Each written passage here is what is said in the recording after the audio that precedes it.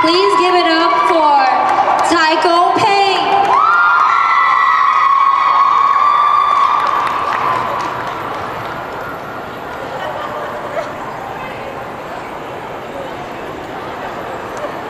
Judges, you have